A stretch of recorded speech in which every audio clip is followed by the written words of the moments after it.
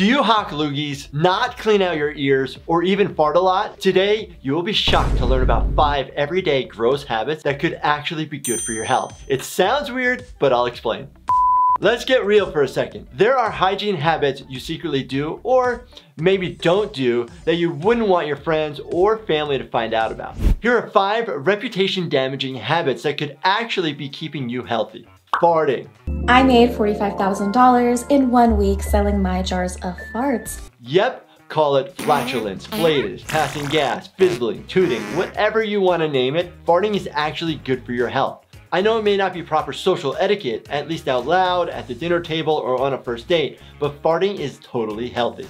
When you eat, you don't swallow just your food, you also swallow air, which contains gases like nitrogen and oxygen. Small amounts of these gases travel through your digestive system as you digest your food. Other gases like hydrogen, carbon dioxide, and methane are made when your food is broken down in the large intestine. All of these gases in the digestive system have to escape somehow, so guess what? They all come out as farts. In fact, a typical healthy person might pass wind between 5 to 20 times a day, or depending on what types of food you're eating, you could be creating the equivalent of a liter of gas every single day in your body. And it also helps with creating a diverse microbiome, which is super important to your health in many, many ways.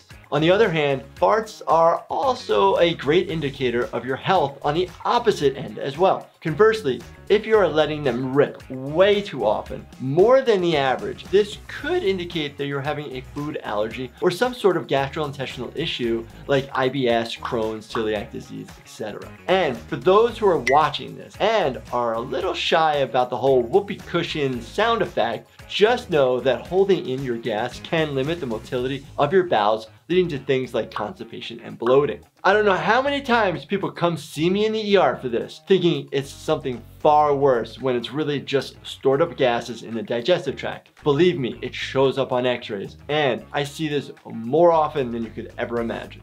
So, verdict about farting, in the right social settings, let her rip. I promise, it's a bodily process for a reason and it's keeping you healthy. Number two gross but good habit, not cleaning out your ears. You've heard the phrase mind your own beeswax. Well, if you believe the experts, you may not even want to mind your own. I'll explain. Ears actually have their own internal cleaning mechanism. And when people use a cotton swab or Q-tip, as is sort of widely known, to remove earwax, oftentimes this could cause damage to the ears. In fact, if you check closely on the packaging, it usually will warn against actually sticking the little cotton swabs in your ear. Believe me, I've seen a lot of ear injuries in the emergency department caused by just that sticking cleaning utensils into your ears when they really just don't belong there. I see things like wax impaction, perforated eardrums, lost tips of cotton swabs, or other cleaning objects that fall off and cause further complications. So just don't do it.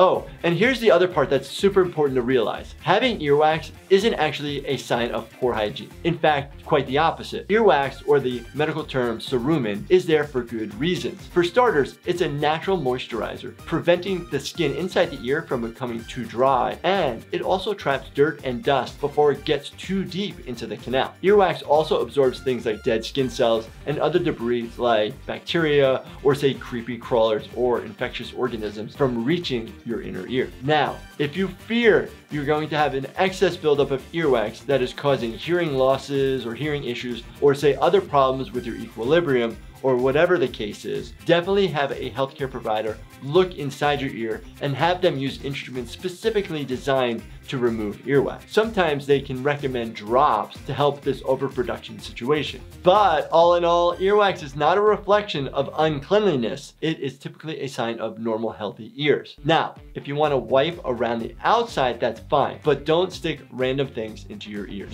Number three, pubic hair. To remove or not to remove, that is the question. This may all boil down to preference when it comes to the hair design of your nether regions, but from a health standpoint, not removing one's pubic hair may actually come with some health benefits, believe it or not. Now, of course, there are some people who prefer to work with a clean slate, if you will, and have their pubic hair partially or fully removed, or even say bedazzled. By all means, have at it. Do what makes you happy.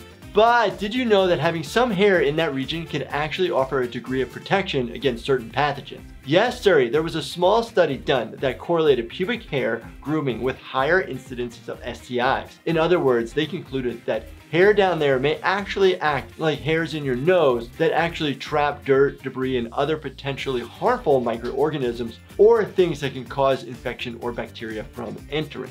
Furthermore, when one does not remove their hair down below via waxing, plucking, or whatever your removal agent of choice is, you obviously then reduce your risk of things like cuts, burns, abscesses, inflamed hair glands, etc. I think we can all attest that these things just don't sound pretty or even feel that great.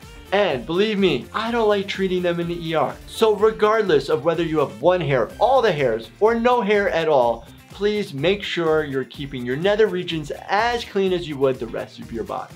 Gross behavior, touching dirt, Although some may view touching dirt, well, as just that, dirty, it may actually have super impressive health benefits. Now, they may not seem to have a correlation from afar, but the soil-based organisms that are found in dirt do in fact support your immune response and microbiome.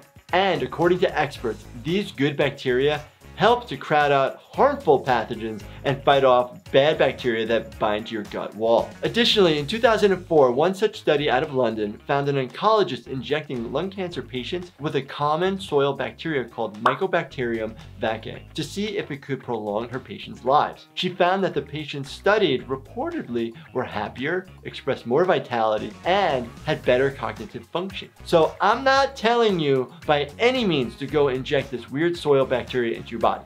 No way. But you could start by just going outside and sticking your bare hands or feet into your garden. Although it may feel weird at first, or you may have to fight the urge to run inside and wash your hands with antibacterial soap, there is a lot of research out there that suggests an intimate connection between the immune system, emotional health, and this type of soil bacteria. Number five, hawking loogies. Yep, I know, I know it's gross, but what exactly does it mean to hawk a loogie and is it actually good for you? Or what can it at least tell you about your health? In a nutshell, mucus is sort of like a gel-like watery substance that you'll find in your nose or sinuses. Phlegm, on the other hand, is a thicker secretion made in say your mouth, throat, or lungs.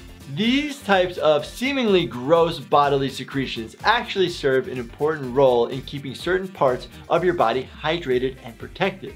In fact, I've heard it described as if your body was a nightclub, mucus would be the bouncer, located at the door and ready to kick out anything causing trouble. So when a sickness causing agent like a virus or a bacteria enters your body, cells in the body that produce mucus kick into overdrive and beef up the goo in order to sequester these germs. Now, typically this type of mucus will see itself to the door and clear out of the body on its own, but sometimes it needs a little extra push to get it out of the body like say you're coughing, spitting, or even blowing your nose. So in the proper social setting, maybe it's not okay to just hawk one up, but from the comforts of say your home or away from a crowd, you may just wanna get the mucus out because you never know what type of bacteria or germs it is binding to and trying to expel from your body.